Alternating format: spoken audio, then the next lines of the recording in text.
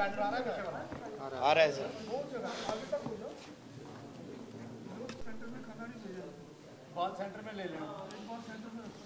Start तो point कटोरा आपके टीम के लिए।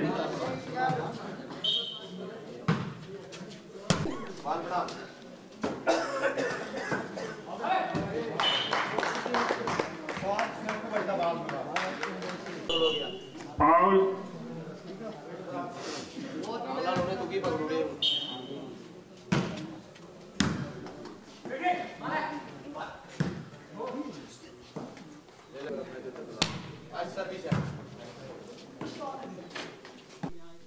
बिल्कुल, ये कंटिन्यू प्रोसेस है।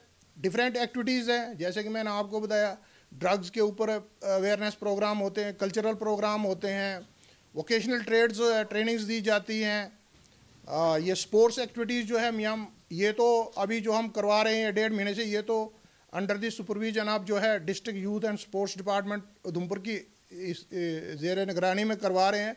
अदरवाइज़ जो है जेल के अंदर ये एक कंटिन्यू प्रोसेस है। हम खुद भी इनको डेली जो है गेम्स वगैरह खिलवाते हैं न्यूज़पेपर पढ़वाते हैं अडल्ट एजुकेशन में जो है उनको करते हैं। कल्चरल प्रोग्राम में इनको ट्रेनिंग्स दी जाती है।